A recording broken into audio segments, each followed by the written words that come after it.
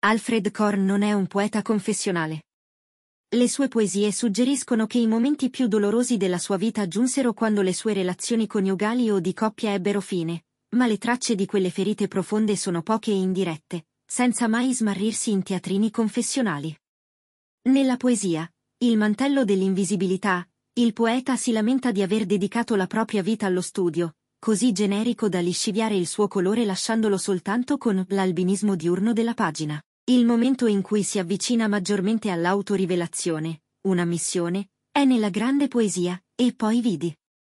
Vede il proprio cadavere e il modo in cui gli amici lo smembrano, abbandonando solo il cuore. Questa è una poesia che avrebbe potuto scrivere Herbert. Le sue poesie sovente parlano di eventi storici, per esempio, i turbamenti causati dal 11 settembre in America.